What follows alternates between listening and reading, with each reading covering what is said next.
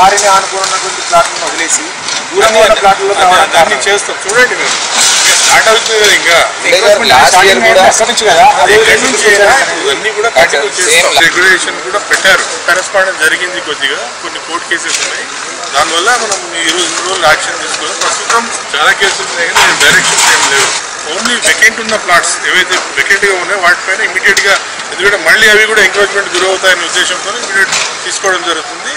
Already buildings ఉన్న వాటిపైన construction అయ్యే వాటిపైన కూడా తప్పకుండా చర్య తీసుకుంటాం సాయినగర్ సొసైటీ అనేది పంతొమ్మిది వందల తొంభైలో వంద రెండు వందల యాభై రూపాయల గజం చొప్పున ఆ రోజు ఉన్నటువంటి గ్రామ పంచాయతీ పర్మిషన్ ప్రకారమే పర్చేజ్ చేయడం జరిగింది. లేఅవుట్ చేసినటువంటి పెద్దలు కూడా దీని పేపర్ నోటిఫికేషన్ ఇవ్వడం జరిగింది. ఆ రోజు ఎటువంటి అభ్యంతరం లేని ఈ రోజు టూ థౌజండ్ సిక్స్టీన్లో హైకోర్టులో పెండింగ్ ఉంది కేసు. మా ప్రైవేట్ ల్యాండ్ని వాళ్ళు కబ్జా చేయడం జరుగుతుంది. వాస్తవంగా ప్రైవేట్ ల్యాండ్ మాత్రమే. గవర్నమెంట్ కూడా డిసైడ్ చేయలేదు ఈ రోజు వరకు కూడా.